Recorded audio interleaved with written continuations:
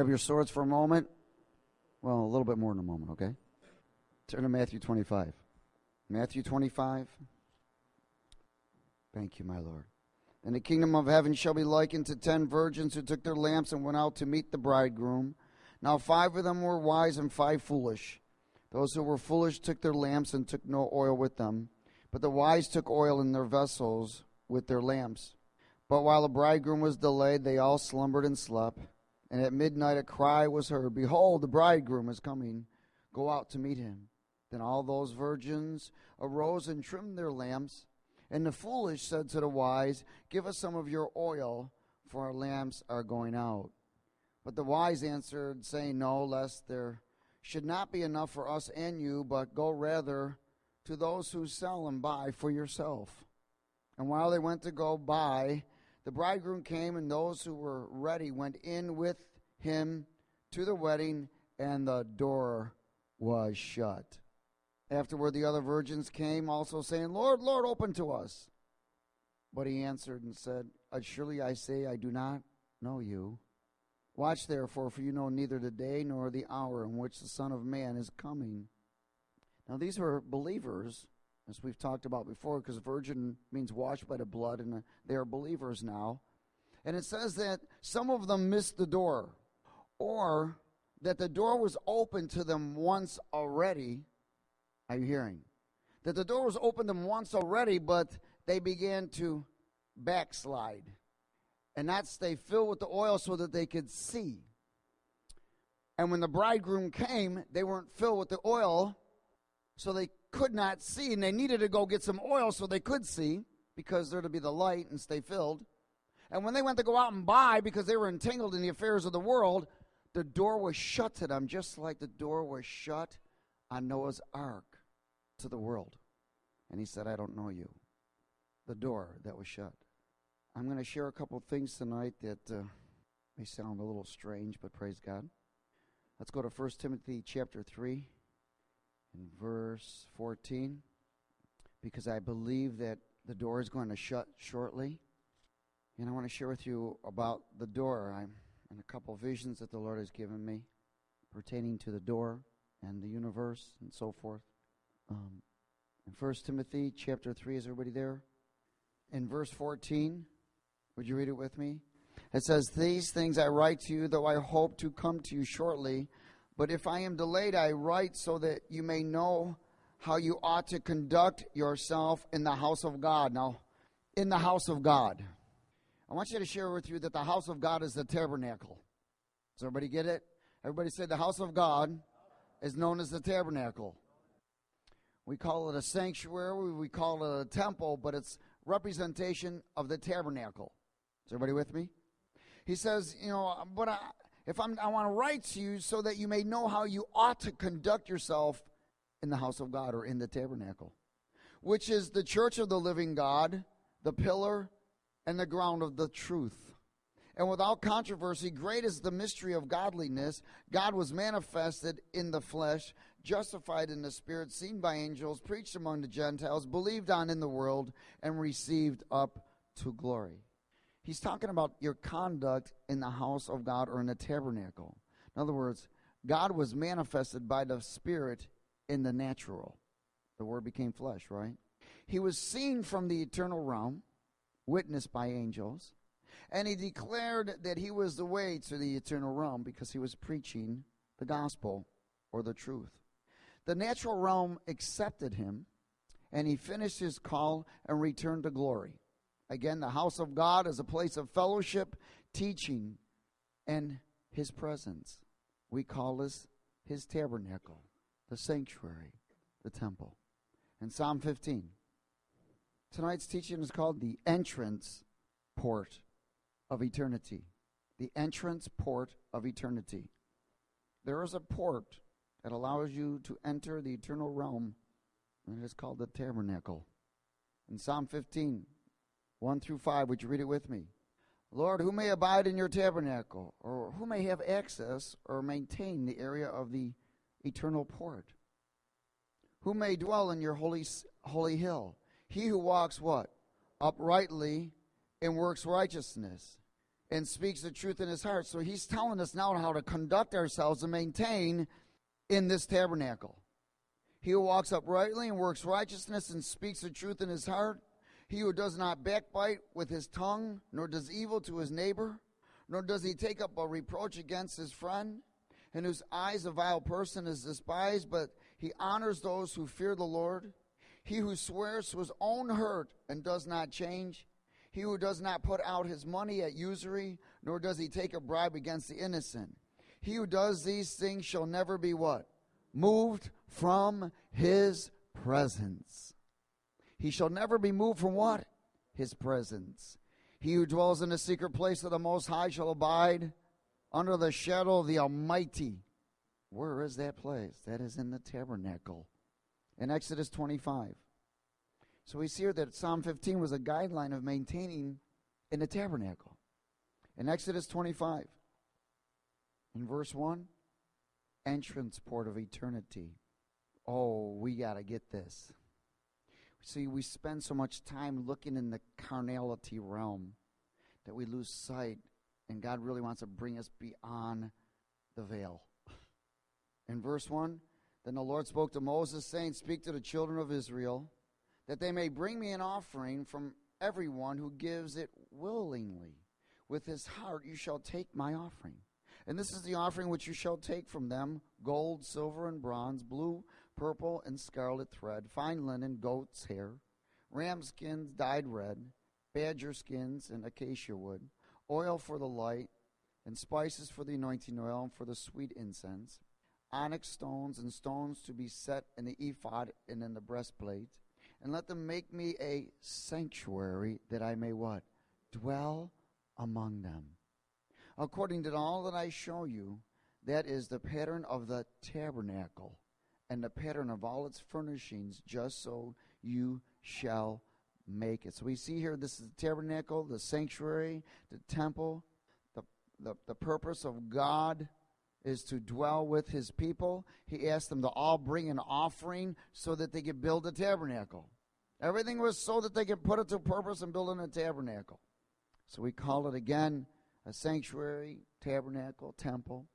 We call it churches now but there is an eternal tabernacle.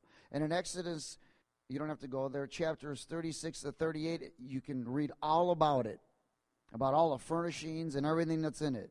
But I'm not going to get into that tonight. I want to go beyond that. And Genesis chapter 2. Genesis chapter 2. Entrance port of eternity. Oh, glory. Can you imagine all those people when it started raining out? when they never saw rain during Noah's time. And they saw this huge boat, which they didn't even know what a boat was. This huge ark mocked him, called him an idiot, all kinds of stuff while they did all fleshly things and fulfilled their desires. And God said something very powerful. He said, My spirit will not strive with man much longer.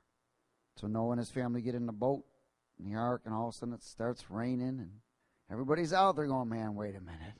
Maybe there was something about what he had to say. Hey, we need to talk to you. Boom, the door shuts. Wait a minute, we're not done talking to you yet. We need to find out what's going on. Too late, and they all died. We have a merciful God, we have a just God. In Genesis chapter 2 and verse 7, and the Lord God formed man of dust of the ground and breathed into his nostrils the breath of what? Life. And man became a living being. So I want you to understand it was the Spirit that brought life to the body. In verse 8. And the Lord God planted a garden eastward in Eden, and there he put the man whom he had formed. Why did he put the man in a garden? That was the first tabernacle for man. The Garden of Eden was a place where man could actually dwell with God. Are you hearing? So God set up a place for man that he created because man was sinless. The Spirit is what gave life to him. He was an eternal being where God walked and talked right with him in this realm. But man fell. yeah. Let's go to chapter 3 and verse 7. In verse 7, read it with me, and it says that man fell, and then the eyes of both of them were opened, and they knew that they were naked, and they sewed fig leaves together and made themselves coverings. So man tried to cover himself. Are you, uh, understanding? In other words, self tried to cover self. it wasn't going to work. In verse 8, and they heard the sound of the Lord what? Walking in the garden in the cool of the day, and Adam and his wife hid themselves from the presence of the Lord among the trees of the garden. So at one time, they were, here they are talking to God face to face. It says that the Lord was walking in the garden. Now they couldn't see him, they can only hear him walking because they became blind. Everything was shut to them now because they had fallen. They sewed on their own fig leaves, self, tried to cover self, and they began to run from the presence of God instead of to the presence of God. And the Lord had to do something about this. In verse 21, also for Adam and his wife, the Lord God made tunics of skin and clothed them. And the Lord God said, Behold, the man has become like one of us to know good and evil. And now, lest he put out his hand and take also the tree of life and eat and live forever. Therefore, the Lord God sent him out of the garden of Eden to till the ground from which he was taken. So he drove out the man, and he placed a cherubim at the east of the Garden of Eden, and a flaming sword which turned every way to guard the way of the tree of life.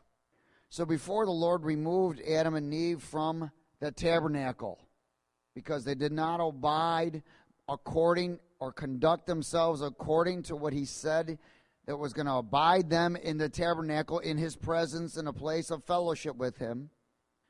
And because of that, he had to remove them. And as he removed them, he took their fig leaves off and he killed an animal. And he, that blood now had to be life. No longer was it the spirit that gave life in the flesh, it was the blood that gave life in the flesh. Are you hearing? So their whole structure changed. And so the Lord said, He killed an animal. He said, You're out of here. I'll be here, but you won't dwell with me ever again like you used to dwell with me until a pure blood comes that will open the door. And um, Leviticus chapter 17 so he took a life for a life. He killed, because now Adam and Eve would die. But the only way that he could restore his promises to them would to be multiply and prosper, but they could not. They lost eternal life, so they lost life. But he restored his covenant with them to multiply and prosper by the blood of an animal he killed and covered them because everything is associated with covenant in life. So he took a life and he exchanged it for their life so that they could restore covenant. Leviticus 17 and verse 11. Would you read it with me? It says, What? For the life of the flesh is in the blood, and I have given it to you upon the altar to make atonement for your souls. For it is the blood that makes atonement for the soul. So we see now that the life of the flesh is in the blood. Now, there's something else that's important because we know that the um, in the natural realm, in the blood, right? The blood is a carrier of oxygen, isn't it? And we need oxygen to live, which we call air, or without air, we can't live, can we? Just like a fish cannot live in its in, in our environment, can it? It's a whole other realm. And we can't live in their environment, environment without oxygen or air tanks. But the oxygen is in your blood now. It's not so when you breathe, when you breathe, the air here goes in to your lungs and it has to transfer everything over uh, these capillaries and it puts oxygen into your blood, which sustains your life. So when sickness comes and disease comes, the blood is contaminated. Why, that's why they take a blood test. They don't take a breathing test, they take a blood test to find out where you be. so remember that when they left the tabernacle of the Garden of Eden, they left with blood. That's why the only way you can return into the tabernacle is with blood. Go to John 14. And Jesus said to him in verse 1 Let not your heart be troubled. You believe in God, believe also in me. In my Father's house, yes, are many mansions. If it were not so, I would have told you. I go to prepare a place for you. And if I go and prepare a place for you, I will come again and receive you to myself, that where I am, there you may be also. And where I go, you know, and the way you know. Thomas said to the Lord, We don't know where you're going, man. And, and how do we know the way? And Jesus said, I am the way, the truth, and the life. No one comes to the Father except for through me. So he was talking twofold here. Not was he going, not not only was he going to prepare a way for them, okay, because he was the living tabernacle now, because he was going to die for them and prepare a way. He was going to open a door for eternity for them. But he once he ascended into heaven, he was also going to prepare a place for them. Are you hearing? Are you listening? Good. So we know that the way, truth, and life are the name of the three chambers the way, the outer court, the truth, the inner court or holy place, and the life, the most holy place. So when Jesus said, I am the way, truth, and life, he was saying, I am the tabernacle. I am the eternal door. I am the only way. I am the port, the entrance port to eternity. And nobody can get there without going through me. Go to John 2. In verse 18, it says So the Jews answered and said to him, What sign do you show us since you do these things? And Jesus answered and said to them, Destroy this temple, and in three days I'll raise it again, or I'll raise it up. And the Jews said to him, Wait a minute, it's taken us 46 years to build this place, and you're going to raise it up in three days? But he was speaking of the temple of his body because he was the tabernacle he was the entrance port to eternity. Therefore, when he had risen from the dead, and his disciples remembered that he had said this to them, and they believed the scriptures and the word which Jesus had spoke. Destroy this temple, raise it up in three days. In other words, he was reestablishing the entrance for all mankind to the eternal realm. Why? Because it was closed in the Garden of Eden. And now he was going to reestablish and re enter, reopen this realm by his death. Does everybody get it? Not only reopen this realm, uh, he was going to be the door, he was going to reopen by his death, of course, in his resurrection. Now he says, In three days I will raise this up. In other words, I, I want you to grab this. What he was saying for 3,000 years, this door will stay open. This door will stay open for 3,000 years and at the end of 3,000 years it will be shut, and no man will ever be able to enter this realm again.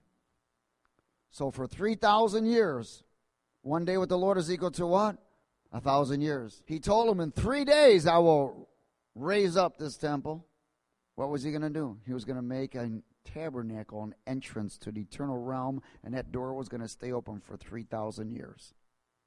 Remember, the door was shut at the garden when the Lord put a flaming sword with a cherubim there, and he sent them out through the blood.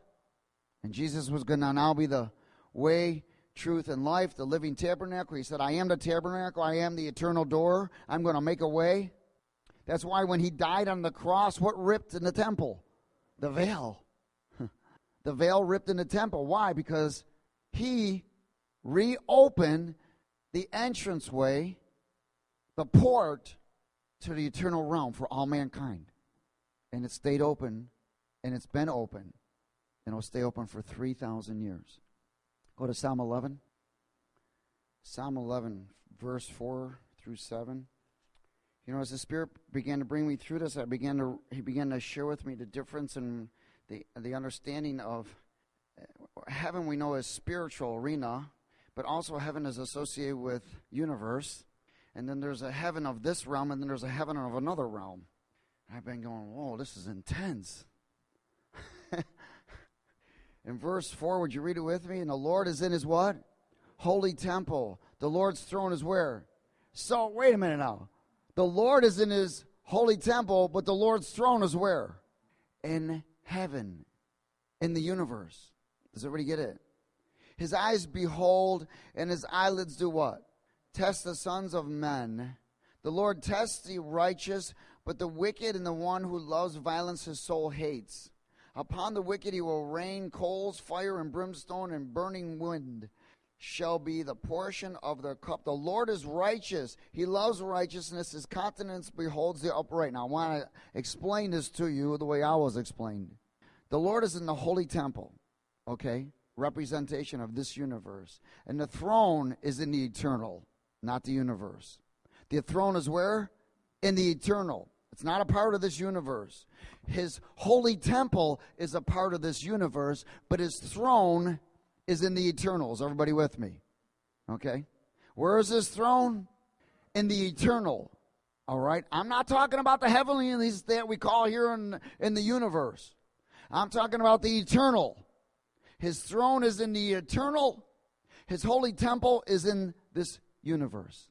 And it says that he tests the sons of men, doesn't he? In other words, what he was doing here, he was displaying his purpose of the universe was to train and test man before he would allow them to enter and share his eternal with them. Are you listening? See, it started right in the garden, didn't it? Didn't he wasn't he training Adam and Eve to what? Before he was going to allow man to enter into the eternal, he wanted to train them and test them, then he would share his eternal with them. So that's why he says his holy temple is in the universe arena, but his throne is in the eternal. So he was going to train man and test him before he would share his eternal with them. Go to Genesis 1 1. Training for reigning. So right in Genesis 1 1, it says what? In the beginning, God created the what? Heavens and the earth. In other words, God took out of the eternal realm, which is unmeasurable, and he took out of the eternal realm and said, Time, space, matter. Out of the eternal realm, he took something that he was going to set a training ground known as the universe so that he could train his creation and test them to enter the eternal. So, what he did is he just took a chunk out of eternal and created the universe. Which in Genesis 1 1 says, in the beginning, which means time. So he created time. See, because the eternal has no time. The eternal is a total different realm than you and I can even comprehend. In fact, if you kind of consider this, you know, we're in this realm. Everybody knows people, this, that, we have remembrances and whatever. What if you entered this whole other realm and you can't remember anything of where you came from? But everything was made brand new to you. Everything that you've just gone through and all everything of your whole life and everything that's going on here, when you enter eternal, what if it was just all wiped away? And there was no husband, wife, and the little ones? No more demonic for no nothing. You were just one with the Creator and His purpose to continue on in the eternal. See, we can't comprehend that. Go to Psalm 19. Glory. You know, we get so caught up and so goofy here. You know, as I'm, I'm seeing more and more things in the natural around, you know, especially with uh, what's going on in the economy and all of this other stuff, it's just like, yeah. It's like, man, you know what? I don't care who goes in president, it ain't going to change. Everything's coming down. Ain't nothing going to change. I don't care who goes in there unless Jesus gets in there, then it's going to go up. But other than that, ain't, ain't nothing going to change. Things are still going to get worse. There'll, there'll, there'll be a, maybe a, a, a glimpse of, oh, things are getting better. No, they won't. They'll have that form of betterness, but they'll deny the truth the God of this age has blinded man in a tremendous way. Tremendously. I mean, it's getting worse. You know, people have to be careful now because they're even looking at riots. And I mean, this is global stuff now. Remember, the God of this world is money. So the first thing that's going to draw man out of another area or out of position is money. They'll we be willing to do whatever it takes to survive Because the world is in survival. And this is one of the ways the Antichrist has already entered because he's already here. So the economic has to be touched. It has to be changed. Now look at all look at the area right now where prices of gas have gone down tremendously. In one place, uh, they showed today was a buck ninety nine a gallon. It was in some other state, so don't bother driving there. I don't know what state it was in. I, don't know, I don't know if it was Georgia or whatever, but it was a dollar ninety nine in one in another state. See, but the whole ploy was to. I, I want you to just step back because all of the gas and all the oil, all the stuff was to suck the money as much as they could. Then everything else, the collapse of the everything has just been predestined and set up to collapse the economic structure. So things have to be restructured and hope that somebody comes in with some brains. See, everything is being established. We know that the Islamic terrorism has increased tremendously. They're globally. And we've talked about that. I mean, everything. Remember, 666 is going to be economic, religion, and government. That's what he's going to control. The economic, the religion, and government will all be 666. That's what it's about. See, so you can already see the two already are beginning to happen. And the government's already sold out. But this country is so blinded, and eventually they will wake up, but it's going to be too late. So we must constantly keep leading people to the entrance port to eternity. In Psalm 19 and verse 1,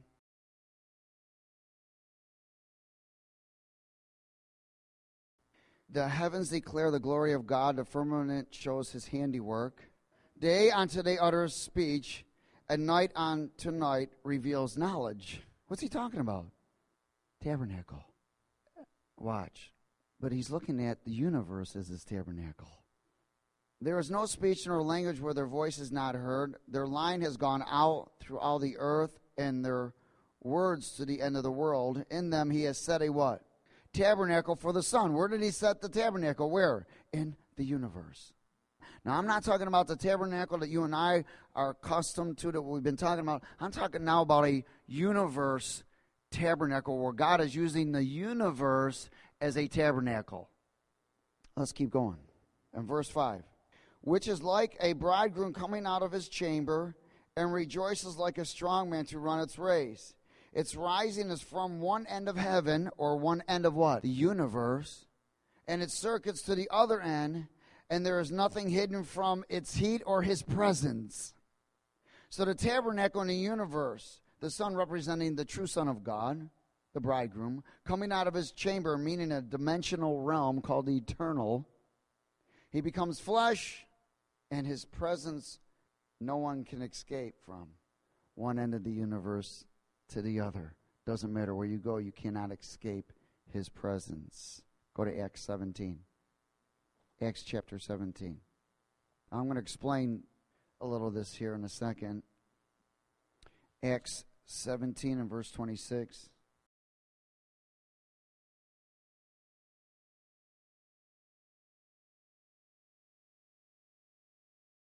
And he has made from one blood every nation of men to dwell on all the face of the earth, and has determined their preappointed times and boundaries of their dwellings, so that they should seek the Lord in hope that they might grope for him and find him, though he is not far from each one of us. For in him we what? Live and move and have our being, as also some of your own poets have said for we are also his offsprings. Does everybody see this? Therefore, since we are the offspring of God, we ought not to think that the divine nature is like gold or silver or stone or something shaped by the art of man's devising. So we look at this and we see that we live and breathe and have our being in Him, in the universe. Why? Because the universe is in Him. The universe itself is a tabernacle of God. Go to John 1. John chapter 1. And verse 1, would you read it with me? 1 through 5. In the beginning was the Word, and the Word was with God, and the Word was God. He was in the beginning with God. All things were what? made through him, and without him nothing was made that was made. In him was life, and the life was the light of men, and the light shines in the darkness, and darkness did not what? Comprehend. So we see all things were made in him and through him. So was the universe made in him and through him? So I want you to look at something powerful because we, we think as God is just this person that became flesh and walked on the earth. No, God is much bigger. In him is the universe. Come on, everybody say, in him is the universe. See, our peanut brain has a hard time comprehending that. My fingers out. You can't. What and how to get it? Don't don't calculate it. It's calculation of eternal. These are eternals. You can't figure out eternals. Your little our our brain would fry. oh, you ever see that commercial? The people using drugs, you know, they use the eggs and this is your brain. Use drugs and you'll have two eggs over easy.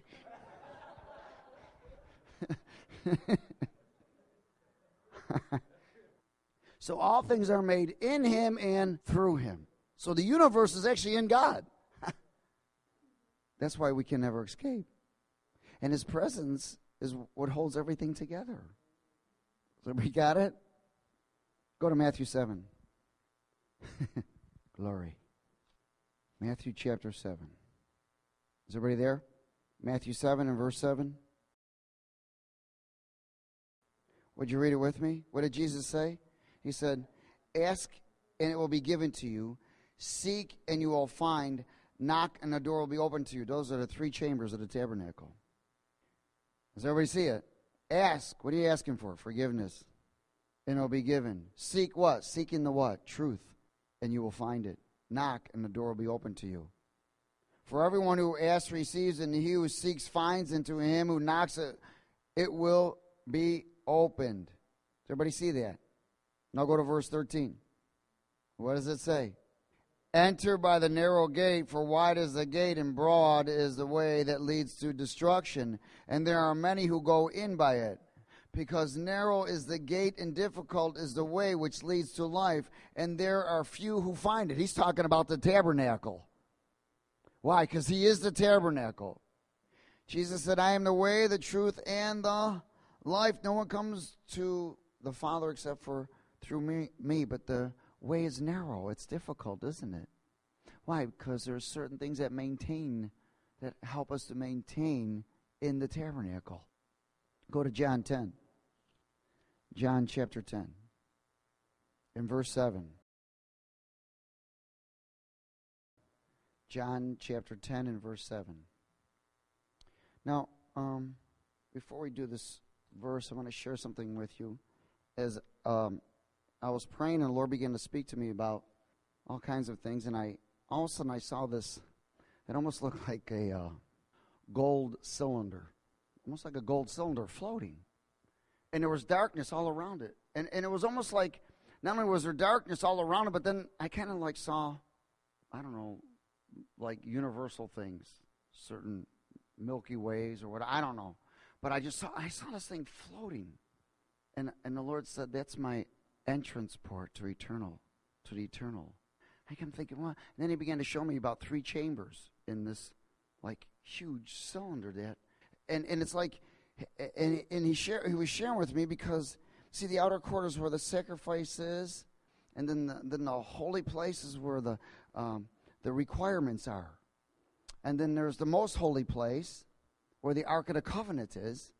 And, and you can only get in one way, but it, it, it, it was like all, all, all the, this thing that was floating. And, and as he began to bring me through uh, the, um, the chambers, out of the final last chamber was pure glory light, and that's all I that's all I could see. But in other words, it took as as I would go through go through this, it, was, it took me out of the whole universe. It took me into a, in other words, but this thing was still floating, but you couldn't see the other end of it. You couldn't see anybody coming through the other end unless you went through it. Then you would see the other end and go into the eternal. And other than that, everything else was still just on this side. So it's just like this thing that was just floating. And in this, he said, This is my entrance port to the eternal. I thought, wow. And then he began to share with me that's why he sent Jesus, because he is the door, the entrance port to the eternal. And again, you couldn't see anybody coming out the other end because it was not attached to this realm, to this. It was an. When you got when you went through the most holy place and out that end, you were in the eternal. It wasn't anything a part of this, even though this thing was just floating around. Does everybody understand what I'm what I'm sharing? You didn't see anybody come out of the, the other end. They just they were gone into the eternal. Is everybody okay? Good. I want you to think I'm nuts. Hey, you know that this is where it's so important. Where you keep your imagination window clean with the blood. So, see, God will speak through you, to you in vision through your imagination, the window. And as long as you keep that clean, you can see. And God wants to show you. Uh, the essence of visualization is important. Remember, we talked about um, making the unseen seen. And that's what God wants us to do. But we must keep our imagination. We must keep our spirit, soul, body, and flesh, and our imagination, and our emotions washed by the blood every single day. Why? So that we can be cleaned vessels, set apart, away from this realm, so that the Spirit can open areas so He can show us. And, and I was just sitting there and, and just praying, and all of a sudden I just stopped praying, and, and He just started speaking. But He began to speak to me through visualization. And he began to show me these things, and I went, whoa. And, and, and the area of this was the door won't be open much longer. In other words, get as many people to the door. In verse um, 7, would you read it with me? And Jesus said to them, Most assuredly, I say to you that what? I am the door of the sheep. I want you to see this as a whole nother realm now, not just some tabernacle made in the carnal realm in this universe. This has nothing to do with this universe now. He, God Almighty, became the door for me and you, the entrance port to eternity. Oh, glory. All who enter came before me are thieves and robbers, but the sheep did not hear them. I am the door. I am the tabernacle. I am the entrance port to eternity. If anyone enters by me, he will be saved and go in. Hello. He's going to go what? In and out and find what? Pasture eternal. He's going to go in and go out the other end and find pasture. Has everybody got it? Oh, hallelujah. The thief does not come except to steal, kill, and destroy. In other words, to prevent you from going through not only that door, but dwelling there and making it through the other end. See, because many people have gone in and then come back out. Many people have gone in and then come right back out, right into outer darkness. He said that I, I have come that they may have life and that they may have it more abundantly. Where are you going to get more abundant life? In the eternal. But you can have a more abundant life right here by associating with the eternal. Listen, you don't need to pray in tongues when you get home. You don't need nothing there. you don't need nothing there, man. You don't need to cast out no devils. You don't need to pray the Holy Ghost. You don't need to do nothing. There's a total different realm that we can't even comprehend. I am the good shepherd. The good shepherd gives his life for the sheep. In other words, he is the entrance port to the eternal. Again, this door is available for 3,000 years, then closes. 1 Peter chapter 3. Is everybody okay? 1 Pete chapter 3. You know, I just I just really believe that the Lord wants to expand our vision and really stop looking at everything over here. Remember, the Bible says in 2 Corinthians 5 16 that we're no longer to acknowledge Jesus in the flesh. Who? Why? Because he wants us to stop looking at things according to the carnal flesh and associated with this universe. He wants us to begin to look beyond that and the other realm. Remember, we don't belong here, do we? In 1 Peter chapter 3 and verse 18, would you read it with me? For Christ also suffered once for sins, the just for the unjust, that he might bring us to God. Through what? The tabernacle, the door. Being put to death in the flesh, but made alive by the Spirit, by whom also he went and he preached to the spirits where? In prison, in hell, who formerly were disobedient when once the divine long suffering waited in the days of Noah while the ark was being prepared, in which a few, that is, eight souls, were saved through water. So, where did he go preach? Hell. Do you remember when he went to hell? Well, when he took the keys of death, hell, and the grave and gave Satan a Holy Ghost kick, he walked over to where paradise was, opened the door. He walked over to hell and he went, he didn't have to preach to those in paradise. Are you hearing me? He went and preached to those who were lost. Why? Because the door had opened to everybody, even in hell. I truly believe that. And he went and preached to those who were in hell and told them that he was the way, and if they wanted out of here, they could. And I really believe some rejected him because they wouldn't believe. See, Satan had promised so much to others that they were prospering according to his way that they wouldn't accept Christ. Many rejected Christ who are still there right now. Why? Because they had a position in Satan's kingdom. Are you listening? Glory to God. What would he need to go preach to the, anybody else down there for? He didn't need to preach to anybody else. Everybody was rescued by righteousness, right? Abraham was counted righteousness. Abraham, uh, they were all in paradise, weren't they? He said to the man on the cro- on uh, the thief, he said, "Today you'll be with me in paradise." So he didn't need to preach to him or anybody else in paradise. When Jesus rose, he put his blood on the covenant that was already in heaven, and the door opened for all those who were in paradise to go. And he preached to those who were in hell that were willing to accept the eternal port, the entrance port to the eternal realm. Okay, let's go a little further. Verse 21. There is also an anti-type which now saves us, baptism, not by the removal of filth of the flesh, but the answer of good conscience toward God through the resurrection of Jesus Christ, who has gone into heaven and is at the right hand of God, angels and authorities and powers having been made subject to him.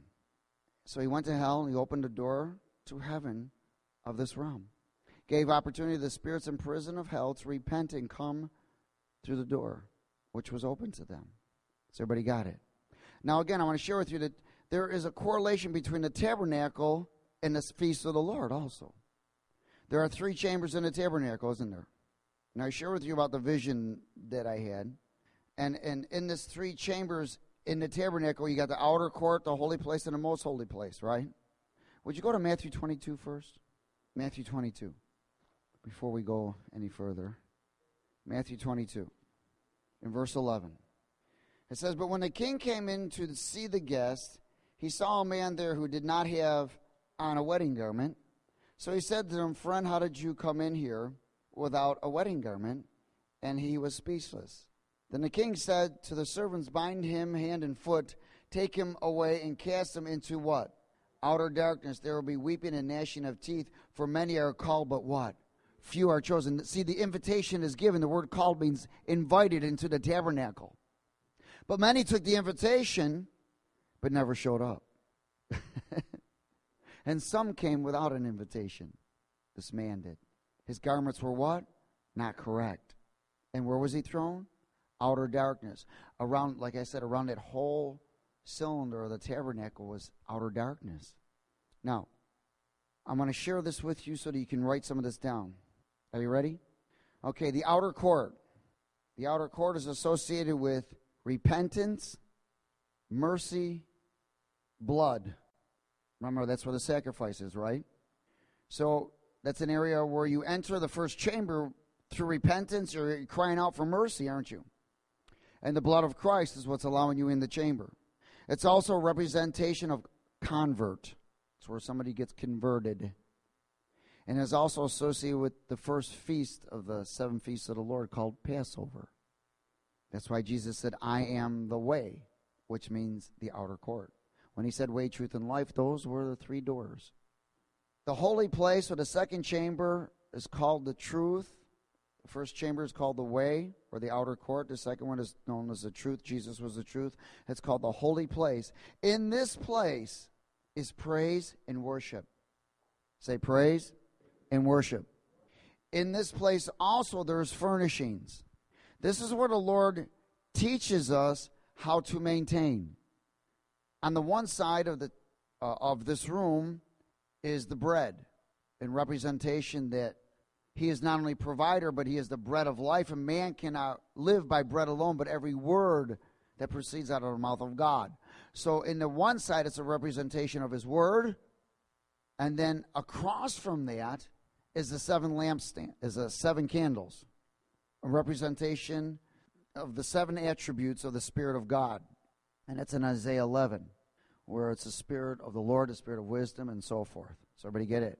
Isaiah 11, verse 2. And that's called the menorah with seven lampstands. So this is what's lighting it. So what it's saying is we need to have the Word, we need to have the Spirit. This is where praise and worship is. This is where people get baptized in the Holy Spirit.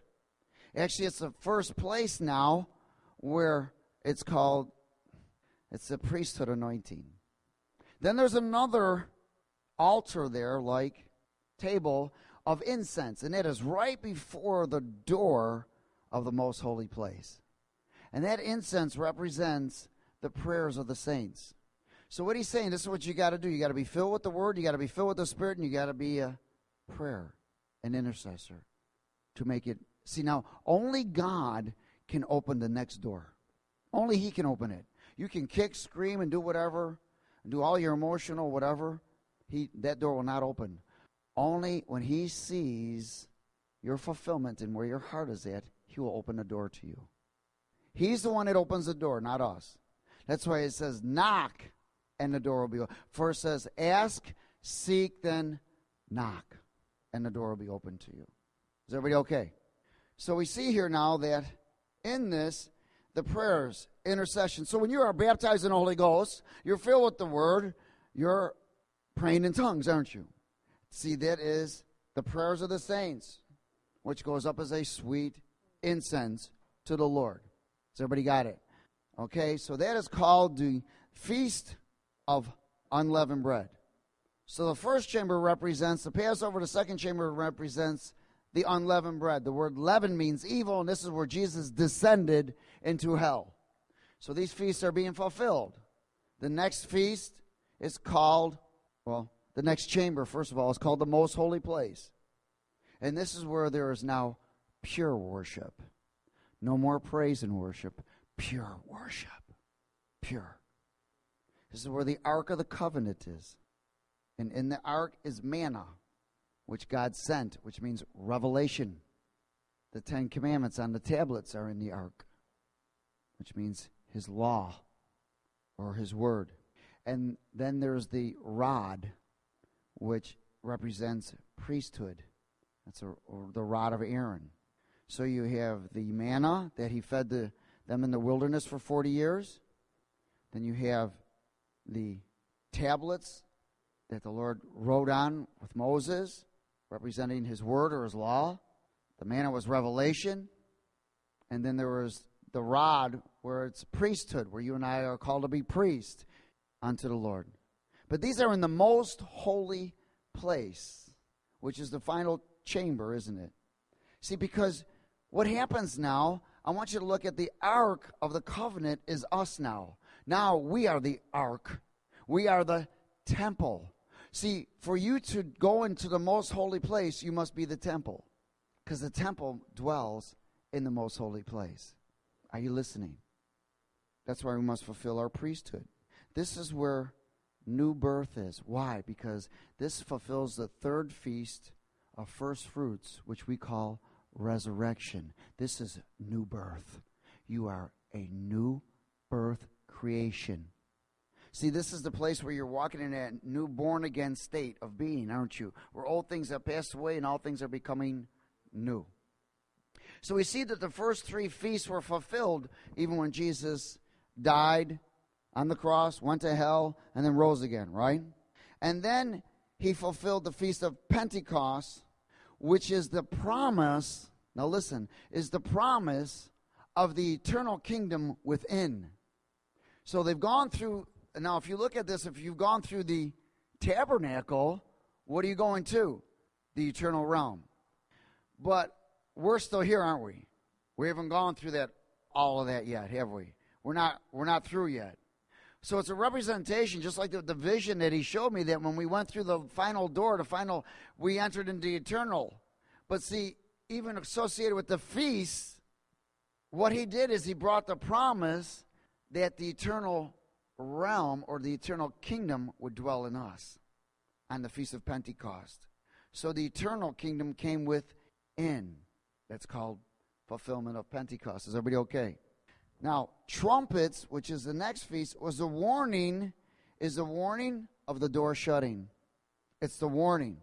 With signs and God's wrath that comes because of the rejection of entering the door.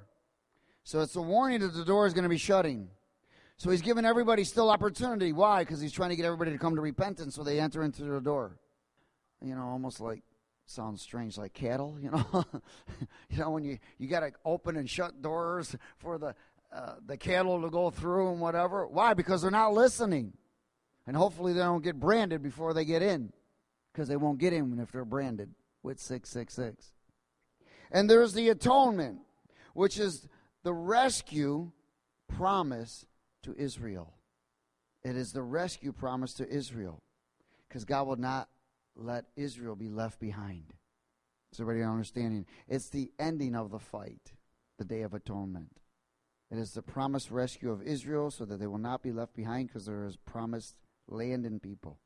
And then there is the Feast of Tabernacle, which is the. Now listen, this is the Feast of Tabernacle. This is where it is the eternal on the earth. The eternal on the earth for what? 1,000 years. So the eternal will be on the earth for 1,000 years. Now turn to Revelation 21. Revelation 21. Are you getting the vision here? I, have got one more vision to share with you also. Revelation 21, the first three verses. Now I saw a new heaven and a new earth, for the first heaven and the first earth had passed away. Also there was no more sea. Then I, John, saw the holy city, New Jerusalem, coming down out of heaven from God, prepared as a bride adorned for her husband. And I heard a loud voice from heaven saying, Behold, the tabernacle of God is with men, and he will dwell with them, and they will be his people. God himself will be with them and be their God. Now, this is where the earth and the heaven, which is all burned up, right? You see a new earth and a new heaven. This is where the new earth and the new heaven are in the eternal. Why? Because the heaven of this realm is now moved. The heaven of this realm, of this universe. Now, when I saw the, and the Lord began to share, show me this um, area of the universe, and I began to see the universe floating out in eternity now. I mean, this whole vast universe floating in eternity. And then all of a sudden, when he shared with me that I'm going to remove all of this too, it like got sucked up through a hole. I mean, just like, and it was just gone. And then I saw like a, a, new a new uh, earth and um, a whole different heaven that I can't even I, I don't even understand. But that's all I that's this is when he said to me the new earth and the new heaven are now in the eternal. Because prior to that, it was in this realm. Now everything is brought into the eternal. In other words, we've gone through the tabernacle now. And we've gone through that last door in the tabernacle, the last chamber in the tabernacle, and we've gone through. And everything was made new. And everything that was is gone. All gone. All gone. No more clothing shops, no more seas, no more stars in the skies. The whole universe was gone. And that's all I can tell you because I didn't see any more after that. the only thing I, he kept sharing with me, oh, go to John 3. We'll close here. And I saw the universe floating, and then the eternal swallowed it up. And John 3 3. And Jesus answered and said to him, Most assuredly I say to you, unless one is born again, he cannot see the kingdom of God. Nicodemus said to him, How can a man be born when he's old? Can he enter a second time into his mother's womb? No, but we can enter into the eternal womb. And Jesus answered, Most assuredly I say to you, unless one is born of water and spirit, he cannot enter the kingdom of God. So he says, See, then he says, Enter. That is why we must be what? Born again. You see the kingdom because of being in the outer darkness. Can't see it, can you? Nor enter because of not going through the tabernacle of Jesus. So you can't see it by being in the outer darkness, and you can't enter it without going through the tabernacle of Jesus. That's why you must be born again to enter this eternal realm. And I can only share with you again the essence of visualization. He wants us to begin to see more because the visualization will begin to expand you in the area to receive more that He has. It will, not only increase your faith, but your purpose. Are you hearing? Because when you begin to see these things and God begins to show you these things, your life in this realm begins to get severed more, more, and where All of the cares, all the worries, all the frustrations, all of this other garbage that's involved in this realm, you'll be able to sever more and more. Why? Because you know that this purpose awaits you. We must go through the tabernacle. Everyone only can go through Christ Jesus, the true tabernacle, the entrance port of the eternal. Is everybody okay? That's why we must constantly, no matter where you are, remember this door is shutting. It's only going to be open for 3,000 years. And then it's shutting. And that's that. What an honor. Do you know what an honor it is to be alive? Do you know what an honor it is, unfortunately, to be a humanite? But praise God, now you're born again. So you're no longer human, you're eternal. See, now that the, the eternal kingdom dwells in you by his spirit, you have dominion over everything of this natural realm. You're just waiting to hang up the flesh and go through the port and go home. See, but that's why he says you must conduct yourself in the proper way, just as priests. Come out from among them and be separate. Don't touch anything unclean, and I'll be your father, and you'll be my children. The, the path is narrow and difficult, but great is the reward. Time's running out, and the door is going to be shutting. And we want to get as many people through that door because there won't be any more. Why God chose us, who knows? But He did. The Bible says He chose us, we didn't choose Him. But now we choose Him because He first chose us. But this isn't all the, every human, every person that's come into this realm has an opportunity to live in the eternal forever. And everyone that reaches, there won't be any more. This is it, as far as we know. This is it.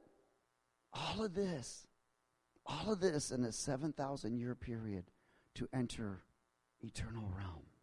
Universe, earth, sun, planets, fishies, birdies, and everything else. All of this created just for us. In Him, through Him, for Him. That He would have a people to share the eternal with. I mean, can we comprehend that? You know, when you begin to share all these things with me, I was like, ah, how do you write this stuff down, you know? I mean, that's all I could do is visualize it and ask for the best to express it. The door's shutting soon. That's why he says that judgment is in the house of God to slap his kids to get them right. Quit playing games out there. Don't reject the invitation. And conduct ourselves correctly to maintain in the most holy place. Time is running out. Let's start rescuing more. Let's start evangelizing more. Don't be so concerned about yourself. What about the others? Wherever you go, more. You know, we want more. We want God's presence and whatever, but what do we do with it? It's time for more souls to get them through that port. Because once that door's shut, it's over with. Amen. Father, we thank you for your word tonight. We are honored and blessed for the revelation. I ask that you give each and every one in this room visualization with understanding. that they may comprehend and put this into their spirit. Let it be engraved in their spirit, Lord, that they will stand with boldness in fear and reverence unto you, but a reverence in the area where they fear that no one be left behind. No one. I pray blessing over each and every one, Lord, and I ask that you continue to visit us in dreams and visions. Have mercy upon us, Master, and forgive us for every area where we have walked away from an opportunity to lead someone through the door. But grant us another opportunity and bring more. Bring more opportunities, Lord. Bring more. Draw them unto you that many more souls would be saved and you'd grant each and every one in here a huge harvest in Jesus' name. Anybody said amen? Hallelujah.